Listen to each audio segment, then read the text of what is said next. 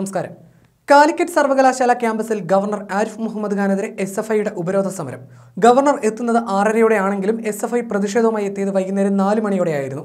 മുഖാമുഖം കാണുന്ന സാഹചര്യം ഒഴിവാക്കുക എന്ന ലക്ഷ്യത്തിലായിരുന്നു എസ് എഫ് ഐ നേരത്തെ എത്തിയത്.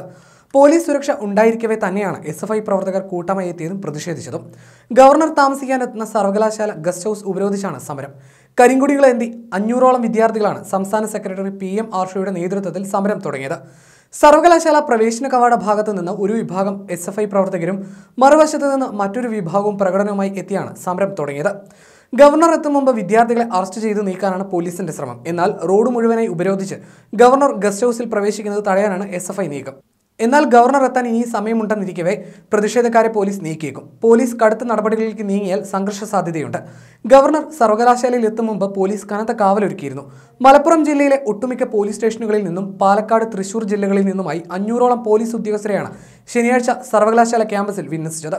സർവകലാശാല പ്രധാന പ്രവേശന കവാടം ഗവർണർ താമസിക്കുന്ന ഗസ്റ്റ് ഹൗസ് എന്നിവിടങ്ങളിലാണ് കൂടുതൽ പോലീസ് സേനയെ നിയോഗിച്ചത്. Kondotty DYSP Moosa Vallikkadan special branch DYSP Gangadharan എന്നിവരുടെ നേതൃത്വത്തിലാണ് സേനാ വിന്യാസം. നേരത്തെ ഗവർണർ കീലേരി അച്ചു നിലവാരത്തിലേക്ക് മാറുന്ന കാഴ്ചയാണ് കാണുന്നതെന്ന് പി എം ആർഷോ ആരോപിച്ചിരുന്നു. ഗവർണർക്കെതിരെയുള്ള എസ് എഫ് ഐയുടെ പ്രതിഷേധം ജനാധിപത്യപരമായിരിക്കുമെന്നും ആർഷോ പറഞ്ഞിരുന്നു. കേരളത്തിലെ സർവകലാശാലകളുടെ ചാൻസലർ എന്താണ് ചെയ്യുന്നതെന്ന് ജനങ്ങൾ കാണുന്നുണ്ട്. ഇദ്ദേഹം നിലവിൽ അവകാശപ്പെടുന്നത് എസ് ഉയർത്തിയ വെല്ലുവിളി അദ്ദേഹം ഏറ്റെടുത്തു എന്നാണ്. ഒരു കീലേരി അച്ചു നിലവാരത്തിലേക്ക് അദ്ദേഹം മാറുന്ന കാഴ്ചയാണ് നാം കാണുന്നത്. വെല്ലുവിളി ഏറ്റെടുക്കാനുള്ള ആർജവും ചാൻസലർക്കുണ്ടെങ്കിൽ എസ് എഫ് ഐ ചോദിച്ച വലിയ രണ്ട് രാഷ്ട്രീയ ചോദ്യമുണ്ട്. ഈ രണ്ട് സർവകലാശാലയുടെ സെനറ്റ് നോമിനേഷനുമായി ബന്ധപ്പെട്ട് അദ്ദേഹം നൽകിയ ലിസ്റ്റ് ഏത് കേന്ദ്രത്തിൽ നിന്നും അദ്ദേഹത്തിന് ലഭ്യമായി എന്നതാണ്. എന്നാൽ ഇക്കാര്യത്തിൽ ഇതുവരെ പ്രതികരിക്കാൻ ചാൻസലർ തയ്യാറായിട്ടില്ലെന്നും ആർഷോ പറഞ്ഞു. ഞങ്ങൾ ഉന്നയിക്കുന്നത് രാഷ്ട്രീയ ചോദ്യങ്ങളാണ്. അത് കേരളത്തിലെ ഉന്നത വിദ്യാഭ്യാസ മേഖലയുടെ നിലനിൽപ്പിന് വേണ്ടിയുള്ളതാണ്. സർവകലാശാലകളെ സംഘപരിവാർ വൽക്കരിക്കുന്നതിന് വേണ്ടി ആർ എസ് എസ് തയ്യാറാക്കിയ അജണ്ട കേരളത്തിൽ നടക്കില്ല. അതിനൊരു തരത്തിലും സർവകലാശാലകളെ ഞങ്ങൾ വിട്ടുതരില്ലെന്നും പി എം ആർഷോ പറഞ്ഞു. ഗവർണർ എസ് എഫ് ഐ പ്രവർത്തകരെ ക്രിമിനലുകളെന്നും ഗുണ്ടകളെന്നും ആവർത്തിച്ച് വിളിക്കുന്നുണ്ട്. ഒരു ക്രിമിനൽ പ്രവർത്തനത്തിനും നേതൃത്വം നൽകുന്നതിന് വേണ്ടിയല്ല ഞങ്ങൾ വന്നിരിക്കുന്നത്. ഞങ്ങൾ വിദ്യാർത്ഥികളാണ്. സർവകലാശാലകളുടെ നിലനിൽപ്പുമായി ബന്ധപ്പെട്ട ആശങ്കകൾ പങ്കുവയ്ക്കുന്നത് മാത്രമാണ് ഉദ്ദേശം.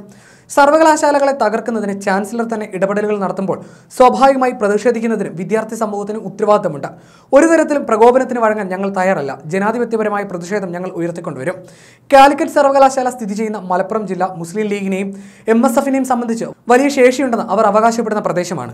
യു ഡി എഫും ഇതേ അവകാശവാദം ഉന്നയിക്കുന്നുണ്ട്. എന്നാൽ ജില്ലയിൽ സംഘപരിവാറിനെതിരെ ഒരു സമരം ഉയർത്തിക്കൊണ്ടുവരുന്നതിന് വേണ്ടി അവർ തയ്യാറാകുന്നില്ല. നിലവിൽ ആർ എസ് എസ് ചാൻസലർ ഇട്ടുകൊടുക്കുന്ന അപ്പക്കഷ്ണം തിന്നുന്ന ആളുകളായി മാറി മുട്ടിലിഴയുന്ന തരത്തിലേക്ക് മാറിയിരിക്കുകയാണ് U D F.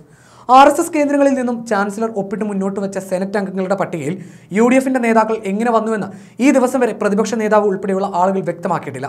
കേരള സർവകലാശാലയുമായി ബന്ധപ്പെട്ട് പ്രതിപക്ഷ നേതാവിന്റെ ഓഫീസിൽ നിന്നും ബി ജെ പി ഓഫീസ് വഴി ചാൻസലറുടെ ടേബിളിലേക്ക് മൂന്ന് പേരുടെ പേരുകൾ പോയെന്നാണ് ഞങ്ങൾ മനസ്സിലാക്കുന്നതെന്നും ആർഷോ ആരോപിച്ചു.